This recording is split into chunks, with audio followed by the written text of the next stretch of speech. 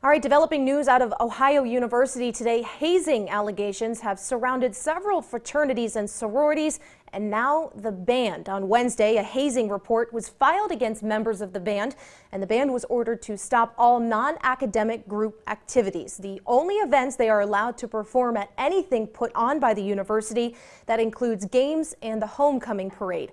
On Tuesday, three sororities and a professional fraternity got cease and desist orders for hazing allegations. 15 fraternities are suspended.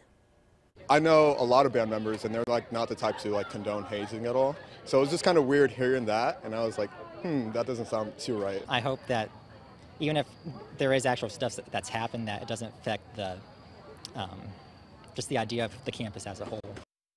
The Office of Community Standards and Student Responsibility has launched an investigation into the allegations against Ohio University's band.